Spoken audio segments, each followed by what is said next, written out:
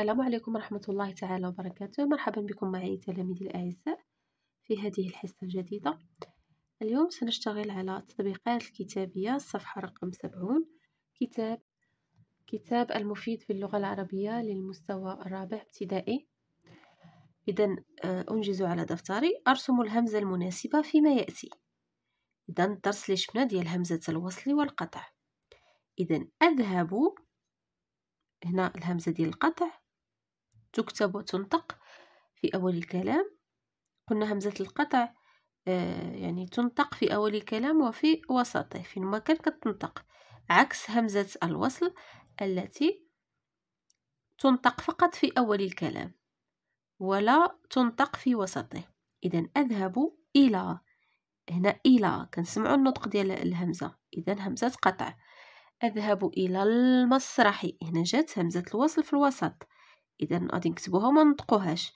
إلى المسرح كل أسبوع أو همزة القطع. رفقة ابن عمي هنا همزة القط... الوصل. في الوسط ما غاديش تنطق. رفقة ابن عمي وابنة خالتي أيضا هنا همزة وصل. أتم ملء الجدول بوضع علامة في المكان المناسب. إذا هنا غنوضعو الفعل ونحددو هل هو لازم أو متعدي. أحب قراءة القصص. أين هو الفعل هو؟ أحب. نكتبوه. أحب. باش غنعرفو واش لازم ولا متعدي غادي ندخلو عليه ديك آه، كلمة الاستفهام اللي هي أو أداة الاستفهام اللي ماذا؟ ماذا أحب؟ إذا الجواب أحب قراءة القصص.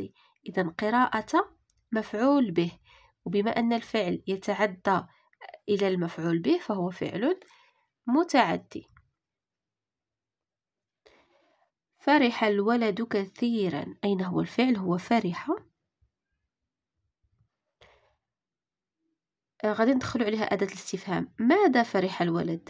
فإن هذا الفعل لم يقبل هذه الأداة هذه. ماذا فرح الولد؟ إذا هنا آه، فرح. هذا الفعل هذا اكتفى فقط بالفاعل. فرح الولد. إذا فهو فعل لازم. شاهدت مسرحية جديدة. أين هو الفعل هو؟ شاهدت. شاهدت. فعل. ماذا شاهدت؟ قلنا ماذا شاهدت؟ شاهدت مسرحية. إذا مسرحية مفعول به. إذا فهو فعل متعدي. قرأت الجريدة. فعل قرأت ماذا قرأت؟ قرأت الجريدة إذا جريدة مفعول به. والفعل الذي يتعدى إلى المفعول به فهو فعل متعدي. أنتج جملا أستعمل, أستعمل فيها الأفعال الآتية. نام. ندير جملة فيها نام. نام. نام القط أمام الباب. أمام البيت.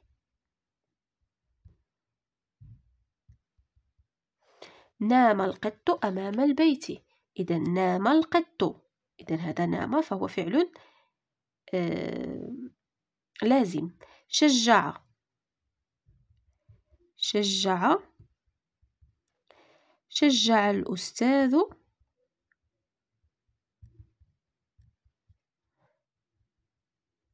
التلاميذ. إذا ماذا شجع الأستاذ؟ شجع الأستاذ التلاميذ. إذا فعل متعدي. اجتمع. اجتمع. اجتمع المتظاهرون.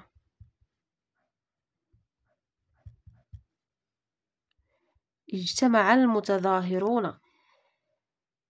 هنا هذا فعل لازم. ما نقدروش نقولوا ماذا اجتمع المتظاهرون. اذا هذا فعل لازم يعني اكتفى بالفاعل فقط.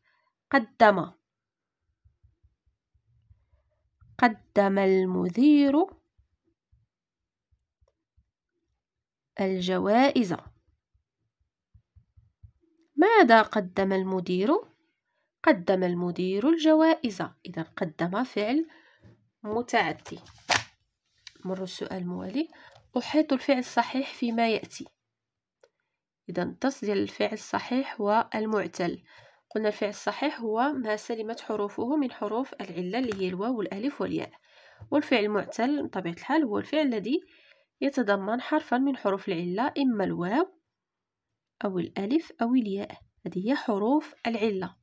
إذا قاعد قاعد ما كنلاحظوش فيه الواو والألف أو الياء. إذا هذا فعل صحيح. قام قام عندنا فيه الألف. إذا معتل. مد هذا فعل صحيح. مضاعف. قرأ إذا هذه ماشي الألف هذه الهمزة. فعل صحيح. مهموز. قرأ وقف. فعل معتل. فيه الواو. سئم. فعل صحيح. راقد. راقد. هذا فعل أيضا صحيح. ما فيهش الحروف العلة. أكل. أكل. فعل صحيح. مهموز. مضى. فعل معتل. كنلاحظوا هنا الياء. عوى أيضا معتل وعض فعل صحيح مضاعف فيه التضعيف أتمم الجدول كما في النموذج. إذا هنا عندنا الأفعال غادي نحددو هذا الفعل الصحيح كلهم أفعال صحيحة. نحددو هل هو سالم مضاعف أو مهموز. سكب فهو فعل سالم يعني خال من الهمز والتضعيف. شد شد فهو مضاعف آه، جأر جأر فهو فعل مهموز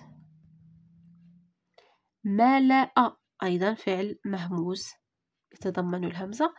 عد عد بحال شد مد إذا فعل صحيح مضاعف.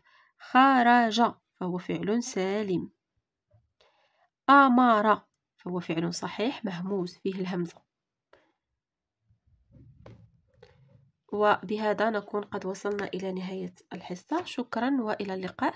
ونذكركم بأنني كان يعني الدروس أو الحصص اللي كننزلها هنا على اليوتيوب كنزلها لكم أيضا على الصفحة ديالي على الفيسبوك اللي كتحمل نفس اسم القناة اللي هي على خطى النجاح.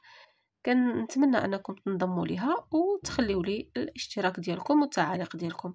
اذا على خطى النجاح صفحتي على الفيسبوك.